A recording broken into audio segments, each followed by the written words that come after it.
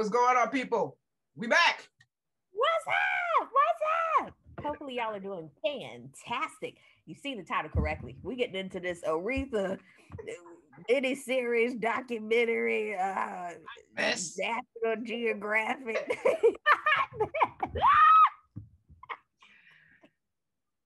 Like, Child, we had to take all week to watch it.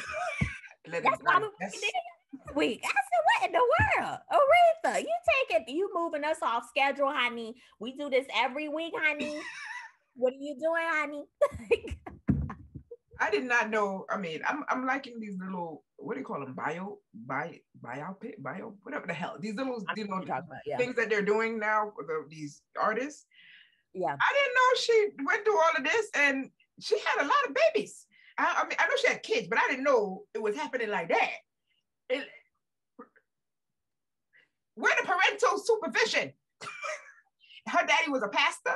Listen, they do say PK kids. Be, hey, but I. The aha that I got from this is Aretha's not the only one. no, because I Like, mean, I mean, there's so many people I know watched this from that generation, or maybe a little bit further up, that were triggered by this because we've seen this. We have. If you've been in the black church, you've seen this. This is not, oh my Mm. God, is that a baby that young? Yes, we've seen it. Some of your cousins done went through the same shit. mm, Just Mm-mm. saying, like, but I've never, I didn't know she went through all of that. Like, oh my God. I, didn't, I wasn't. Ooh, I wasn't ready. I wasn't ready.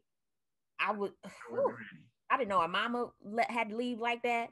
I didn't know the daddy was just sticking his little thing thing and anointing everybody. with the anointing everybody. You get it. You get it. You get it. I didn't know. Everybody gets it. You know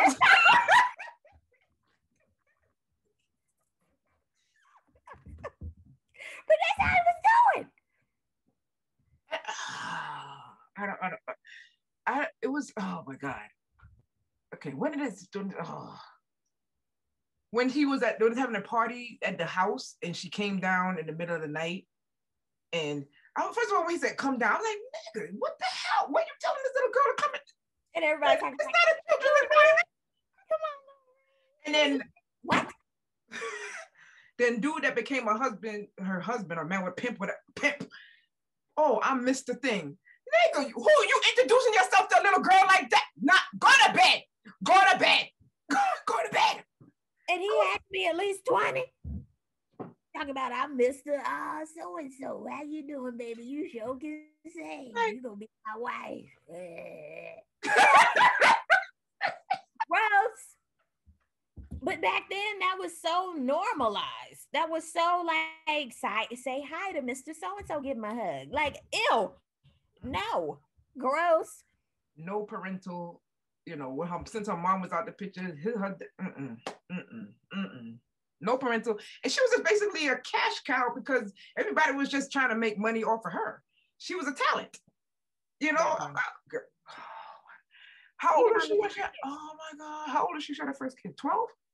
12, 12 and 14. You know what was sickening to me Mm. was further along, you know, when they were doing the flashbacks, when the dad was like, when the, I guess the teacher who really paid her a lot of attention and said, Oh my God, she's doing so great. And he was like, Oh, okay. Well, she gonna sing and that's what she gonna do. A Mm. woman don't need to be doing all this education bullshit. Okay.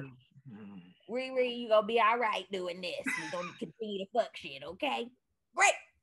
I was like, oh, but imagine how many women over the years had to go through that shit. Mhm. Education was looked at as like, you wanna do what? No, hell no. Mm-mm. Lay down on your back, cook me some food. It's fine. Sing your little song. Come on. Sing your song. It's all good. You don't need that. She she had a wonderful she had a wonderful gift, but just a fucked up upbringing. Oh, Because it's like when when they went on that trip, the the the what I don't know what the hell it was, a revival in a tent, whatever the heck it was, where she met her the singer that she, that she looked up to. yeah, yeah. That's I think that's when she got pregnant again when she was on the road. Yes. I'm like, what the fuck? Like what? The Oh And God. everybody looking at him like, you need to take better care of your daughter. And he's like, get out of my church. And, it's just like, yo, we giving you sound advice, Playboy. Like, what you, What you doing? Huh? What you doing? I, uh, Dude, it, yo, it cracks me up because I mean, it's not something new. Like even his, you know, his, his okay, it's a real, it's okay, true, real story. A lot of pastors are still like that. And, you know, this it, this is a lot of this still going on. You remember when he when he was at the bar and that lady came, the lady was already in there. She was trying to give him the music to give to Aretha, and she's Right. like, he was like, oh, we could take this back tomorrow. No, well, beginning, he's like, oh, I remember you. I, I don't remember. The, oh, I remember you Sunday, whatever, in the red dress. Da, da, da. What kind of pastor remember the female? I was like, you better work. You better work, Bishop. he was a player. He was a player and he crushed a lot. Like, but he, he- I mean, what? Down to the T. I was like, what the hell? And the crazy thing, if you read anything, because you know me, I'm forever the Googler. Oh. Everybody was saying the same damn thing. I said, Oh, damn right. it, Gina, damn it. And the way he died, though, it was like, damn. Shit, you in a coma for five years, dog. Five years, big dog. they I'm like they they let they should have let that go a long time. Like what y'all, what y'all doing? Like And he, they all looking at Aretha like, girl, come on now. let it go. Jesus. I don't know myself without him. That is such Dude. toxic shit. Yes.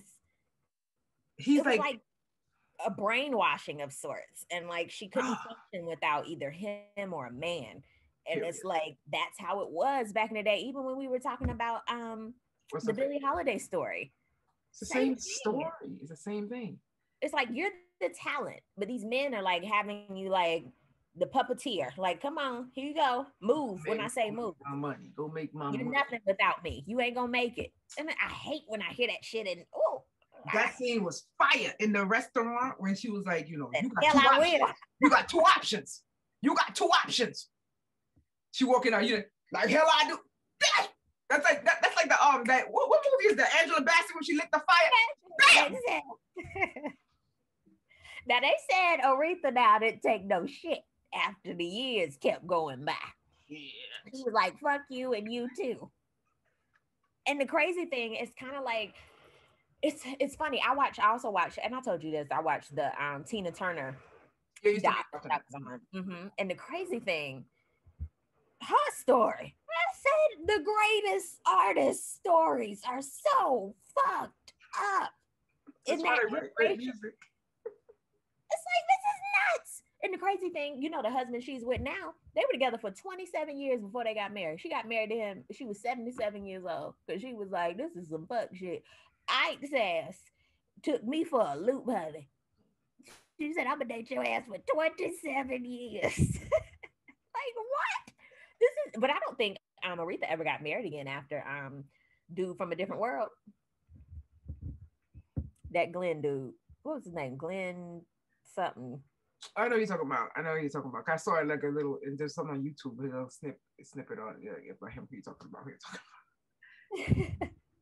But I really liked, um, I like the fact that she stood her ground in trying to get their production royalty. You know, to get so she's a Yes. producer. I'm glad that she stood her ground.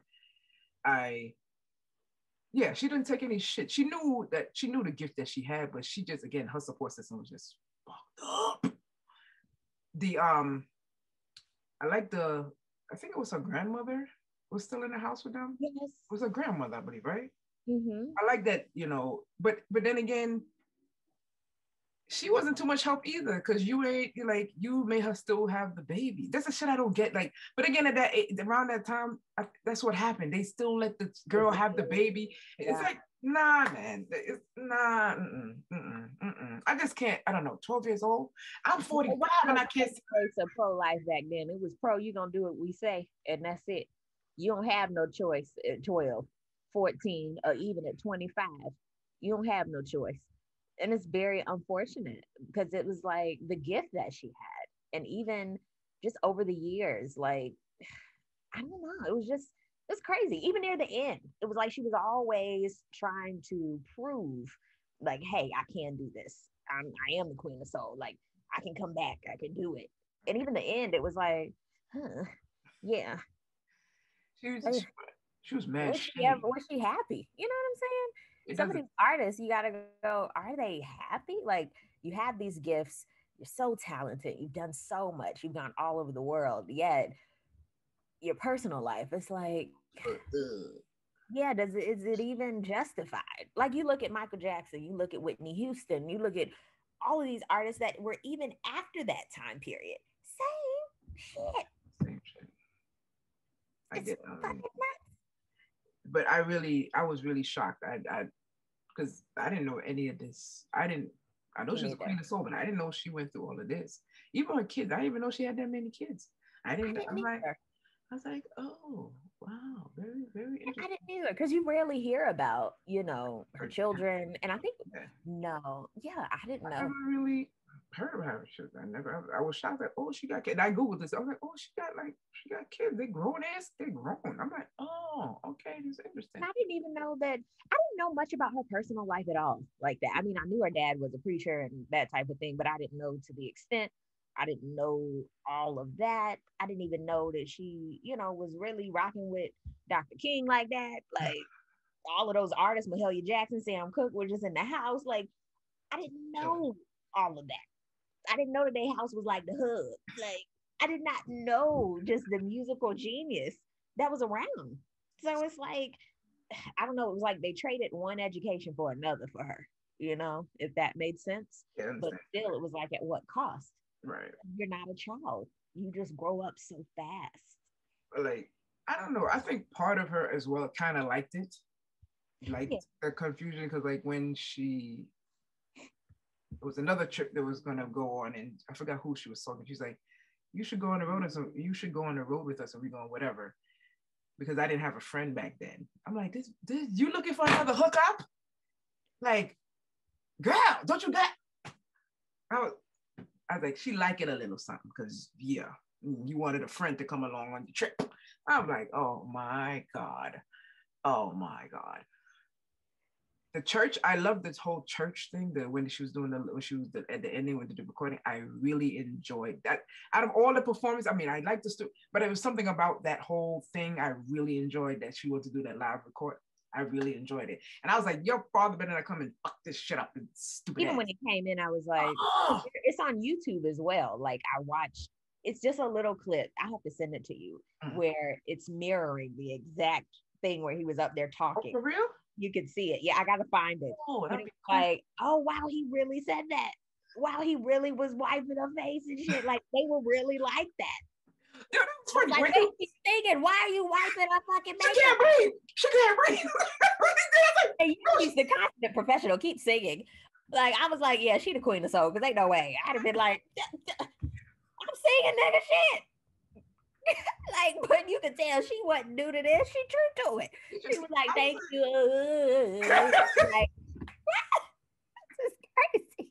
We have, you the, have you seen that movie for Amazing Grace? No. I think it's on um God, I forgot what it's on, but I watched it. This was a year or two ago when it came out. Mhm. Powerful. Like it is sick. And the crazy thing, it was 47 years that that video footage was just on the shelf Mm. because it wasn't synchronized. At that time, they didn't use the clapper. And then Oh, At so- that time, they didn't know how to sync stuff. So it was just shelved for all those years where now you could literally just move something. Move- move the limit over. Where back then they had to have that uh, and go. so it's crazy how time has just changed, but that's how they were able to release it like two years ago because somebody was like, you know how easy that is to put the synchronize everything. But the craziest thing when she put that album out, Mhm. it is still the best-selling gospel album of all time. When I read it, I was like, stop playing. She's still Something making she revenue. not want to do. Something she was like, fuck this. I ain't doing no, sorry, y'all. Thank y'all so much for having me. Good night. and the craziest thing, that is something that she had told her manager, yo, I really want to I really want to do it. Then she was like, yo, if it ain't how I want it, I ain't going. and it had to be the best shit she ever did in her life. It's nuts. I was cracking up when she first went into when they when she first went into the studio and they kept crossing out the takes. yeah. Back then they had to go, no. 82. it was oh, crazy. She was such a genius, though. They named it correctly because it's like I, I'm always fascinated by artists because they, it takes like a special something to like, first of all, sing like that for all those years and to hold those notes and to just even in her older age she still had that power in her voice which was like sick. Mm-hmm. so that's crazy. And for her to play and not read music. She play up here. Um, I, I don't it's like i learned i didn't remember her. When i saw playing the piano i didn't remember her that she played the piano. I didn't Me remember I, was, I was like she gotta play I didn't know. And eh, to not read music, those are some special people, like to just mm-hmm. play by ear. Yeah. Definitely. And to even have those ideas and put them together. And it was mm. just sick. What did you think of the actors and actresses in this? I thought it was really believable. Yeah, it was believable. Nothing, no one didn't take away from, you know, her, you know, didn't take away, didn't still, you know, you still got their, you know, what their, what they were there for, their purpose to, you know, for the scene, but, but I think it was pretty good. They're believable. I believe, eh, I believe, I feel that the casting for the young one and the oh, it was very good. The likeness, they, they look very much alike. I'm like, y'all better go ahead and cast, very good, very good. And they can say, I really liked how they cast the little girl. I was like, okay, okay. it wasn't like she could just sing and that's it. It was like she could act as well. Because sometimes they pick people that can sing and can't act, can't act and right. then it just makes a damn mess. Yeah. Even ones they picked for her husbands, mm. it made sense. It mm. was like, okay. And Cynthia, girl, I, I thought I knew she wasn't Aretha, but I said, you better embody. Okay. I went to Google. She sang. I'm like, oh. Mm-hmm. I was like, she sang. Yes. She sang. And I love how they incorporated still the real Aretha. Like even yeah. in pictures and different things, so mm. people would know, hey, this is truly a movie, but at the same time, this girl can sing too. So that was good. The only thing I didn't like was the end. I thought the end was like, I felt like they were running out of shit, and they were like, okay, we're just gonna do the granny piece because this was good, and then we just go, you know, tie that thing up real quick with a bow, pictures on the end, and say some more shit and when she passed. And that's how we gonna wrap it up. What y'all think? Yeah, that works. I think great. Everything else is perfect. That's what we want to zoom in on. People didn't really know our story, but the end, everybody knows that. Hey, y'all gonna do all this. Y'all make us watch all of this shit. And at the end, you gonna end at 99. And the lady lived an additional 18 years or 20. just craziness. I said, okay, if that's what y'all want to do, I guess. So, I mean, something like this. Would you watch it again? No. Uh-uh. No. Mm. It was a lot. Yeah. It was a lot. It's up here. I'm good. And it was so sad that I was like, no, there's no piece in there that made me go. Now I did chuckle a couple times, and Courtney B. Vance, he know he can act. Okay, he know he do some good old acting but at the same time, it was like, no. And do you watch Queen Sugar? I'm, I'm waiting for it to think because I want to just um watch it all together. Watch it all together, yeah. The dude that played um the preacher, uh not C.L. Franklin, but um God, what is who helped her with the um the church. Oh, I know you're talking about the dude. I know you're talking about. I know you're talking about. Yeah, I, I can't place his name right now. I know you're talking about. Bald head, dark skin bitch. Is crazy because it's like if you look at old footage of him, it's spot on. It is so spot on. I said he really studied that how to be him because that is spot on, and I cannot think of his name right now. But I'm um, like, you talking about dude is playing Milton Brunson? Um, not Milton. Um, what his name is? Oh my god. I know you're talking about. I know you're talking about. We got. Yeah, I know you're talking about. I know you're talking about. I know you're talking about. Yeah, yeah, but I thought the casting was really good. I thought it was good. When I watched it again, no, it was so damn sad. Ugh. I was drained emotionally. I was like, ugh. I need to watch Schitt's Creek or something after this because I am just disturbed. It's a lot. Ugh. She was shady. You know, she was shady because, like, you know, like her sister, her sister got the part. You know, that she was offering offered that she wanted her sister Getty. She, she was like je- shady jealous. I don't know. She gonna go take the part from her sister. Like, yo, you didn't want that shit. Like, let her, let her rock, yo. The fuck? And the craziest thing though, if her ass wouldn't have done Sparkle, that soundtrack wouldn't have been what it was. But at the same time, that wasn't for you, Aretha. That wasn't for you. But maybe if she didn't do that, I don't know who would have done it because that was some good ass music. Okay. But that was your Wasn't- sisters. Don't do that. Was like, Don't you do that. shady, shady. Yeah, that was shady boots. I I ain't really feel that with her. I was like, to your family though. Yeah. Wow, I could understand if it was another artist, or, you know, something like that. But your sister, like your for real, for real sister. Okay, Yeah, that was a little bit. I was like, Okay. a little bit off, but I enjoyed it, learning new stuff about her and stuff. Yeah, it was interesting, very interesting. I'm gonna say that. That's I I agree. did not know. yeah, I'm always stunned with all of these movies because I'm like, the shit you don't know. The shit you don't know. But yeah, I wouldn't watch it again, but I believe everybody should check it out because it's really good.